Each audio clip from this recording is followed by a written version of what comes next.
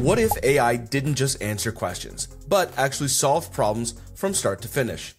Welcome to the world of agentic AI, where artificial intelligence becomes your autonomous developer partner. Agentic AI is artificial intelligence that can act on its own to achieve goals.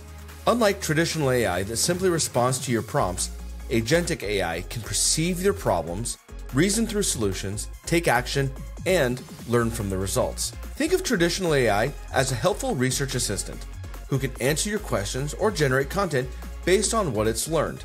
Agentic AI, on the other hand, is more like hiring a junior developer who can understand project goals, break down complex tasks, write code, test solutions, and improve through feedback, all with minimal supervision.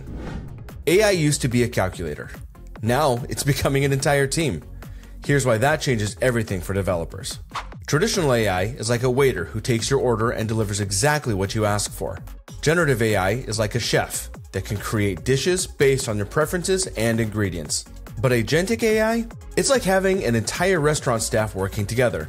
A host who greets you and understands what you want, the chef who plans and prepares your meals, the server who delivers it, and the manager who collects feedback to improve your next visit. What makes agentic AI special is its four step process perceive, reason, act, and learn.